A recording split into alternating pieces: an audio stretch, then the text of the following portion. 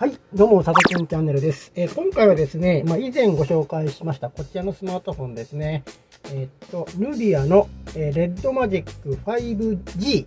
え日本向けにはね、レッドマジック5という名称で出てますけれども、え、こちらのですね、後継モデルが登場したというところでね、動画にしたいと思います。はい。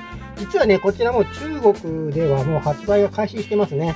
で、ヌビアさんからまあお話、あの新型モデルが出るよとお話いただいたのは、まあ、先週だったかな、7月末ぐらいにまあお話をいただいたんですけども、まあそろそろ、えー、この情報も流していいかなと思ってね、ちょっと動画にしたいと思います。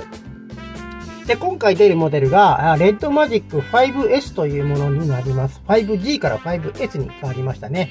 えー、まあ、いわゆるですね、5G の、まあ、なんていうのかな、ブラッシュアップしたモデルで、おそらくですね、まあ、ちょっともらった資料から見ると、こ、こいつのね、筐体をベースに、まあ、えー、まあ、性能アップというか、ブラッシュアップしたモデルということになります。えー、ちょっとまあ、あのー、多分、どうかな、あのー画像が使えたらね、あの、多分、なんていうの？サムネイル画像と、まあ、どっかこの辺に出すかな写真ね。はい、こういう筐体になっててですね、えっと、空張りがですね、えっと、2色展開に今回なってます。前回はこのレッド1色だったんだけど、えっと、次のやつはね、この半分が、えっと、ブルーになったモデルと、あとはシルバーが、出ますね。えっと、カラーリングもね、なんかちょっとまあ前作モデルをあの継承したものになっております。まあ、レッドマジックのね、特徴としましては、もうすごいハイスペックなんだけど、コストパフォーマンスが高いというところで、えっ、ー、とね、CPU は変わってないのかなスナップドラゴン685を、えー、搭載しております。で、メモリは 8GB、12GB、16GB と3つのメモリになっています。ストレージは 128GB と 256GB の2つになってますね。で、価格なんですけれども、ちょっとまだね、まあ、為替レートによって少し、まあ、前後するかとは思うんですけども、いくらだったかな。えっ、と、8ギガのメモリと128ギガストレージで、えー、まあ、5万7千円ぐらい、日本円でね。で、12ギガのメモリと256ギガのストレージで、えー、6万5993円。えー、16ギガと256ギガモデルで、えー、7万5010円なんですよ。えー、これね、あのー他のスマホのスペックから考えるとですね、非常に値段がね、安くなってます。えー、かなりね、コストパフォーマンスが高いというところと、まあ、あとゲームにね、特化しているというところがね、特徴になってます。で、えっ、ー、とね、前作より進化したポイントっていうのがね、まあ、いくつかありまして、えっ、ー、と、まず一つは冷却性能が高まってます。えー、これはね、前作より何パーセントだったっけ ?30% だったかな？あーえっ、とね、え、ちょっと待ってくださいね。冷却機能ですね。えー、っと、えー、まあ、熱伝導の高い銀メッキを使っているというところが一つ特徴でですね、まあ、金属の性質によっては、まあ、例えばアルミとかもそうですけど、その、冷却効率に違いがあるんですよ。えー、このあたりを前作よりも、あの、改良して高めているというところですね。えー、あとは、あファンの通気性ですね。まあ、これは多分形状を、まあ、見直したということで、ここで4.3%、あの、クーリング性がアップしているというところですね。えー、あとはね、OS は Android 10ですね。これも確か前も Android 10だと思うんですけども、まあ、あの、ゲームを使うことをね、まあ、その、適した、まあ、独自の UI、えっ、と、これは RedMagicOS っていうのがね、まあ、採用されてます。これはまあ、前回もお話ししたけども、えっ、と、まあ、そうですね。まあ、こういうところは一緒なんだけど、このボタンをね、ポチンと押すと、あら、どこ行った？ここか。ポチンとやると、よっこいしょ、こっちか？あ、こっちか。はい。こんな感じで、はい、こういうふうにこう画面が立ち上がってね、このゲームにを使いやすくなる仕様になってますね。で、ゲームの使いやすさを追求する上でね、特徴としてはですね、えっと、ここですね、この画面の上の部分に、ここに、まあ、のボタンがついてるんです。これでまあゲームの操作ができたりとか、あとはその振動ですよね。あの、例えばなんかこう、バコーンとかぶつかった時のこうビーンっていう振動も、ここにあの組み込ま組み込まれているということですね。バイブレーションの機能をこれ、まあ、ゲームに活用しているというところ。えー、これが一つ、まあ、特徴になってますね。えー、他にはどんなとこだったかな？えー、っと、まあ、ディスプレイもね、あの前回と同じく6.65インチの有機 EL ディスプレイになっててですね、えー、まあこのあたりがですね、なんていうのかな、あの FPS なんかが、まあ、より細かくなってね、えっ、ー、と、ゲームをね、より高買いやすくなってるんですね。この微妙なこの、なんていうのかな、性能差によって、なんていうの、まあ、ゲームをより有利に戦うっていうことがね、できるようになってるんです。この画面の美しさなんかね。うん。えー、あとはね、ただですね、まあその分ね、ちょっとね、カメラ性能が おざ、おざなりになってます。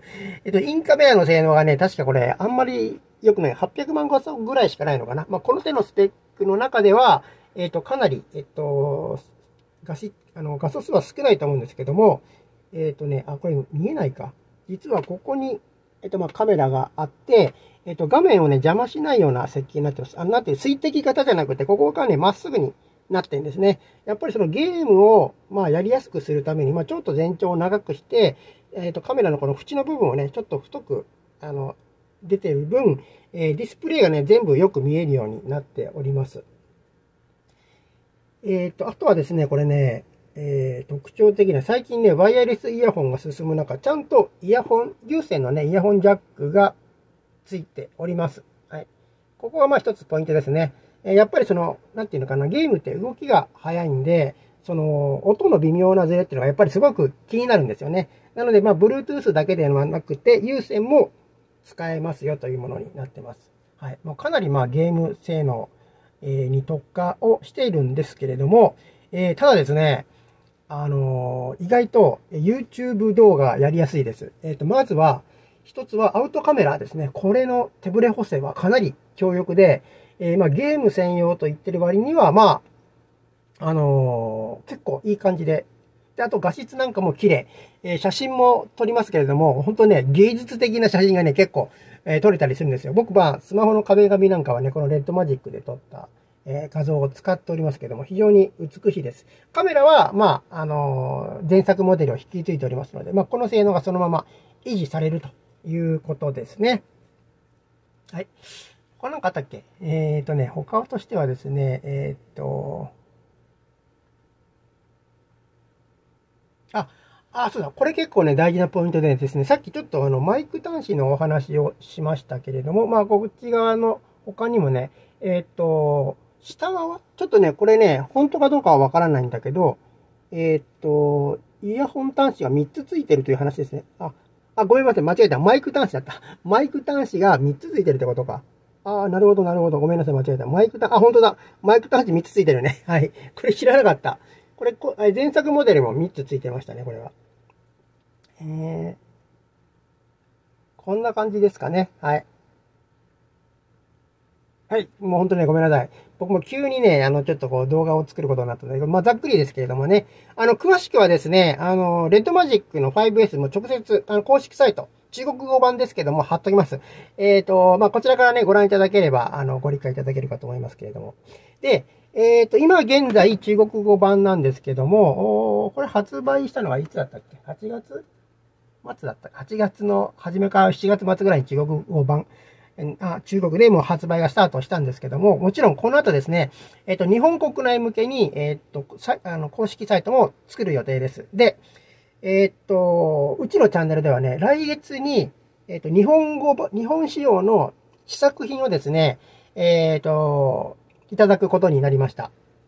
えっと、これはですね、ただ、あまあ、技的がね、まあ、対応してないので、えー、まあ、これは自分でね、えー、後で取り直、自分で技的を個人的に取って、えー、またこれ、あの、動画で、えっ、ー、と、ご紹介したいと思います。ちなみにですね、えっ、ー、と、日本版の正式発売っていうのは10月を予定しております。だからまだ2ヶ月先かな。えちょっと先の話になりますけども、えとりあえずですね、はい、あの、このレッドマジック 5S、5G の後継モデルが出るよというところでね、え急遽動画を撮りました。はい。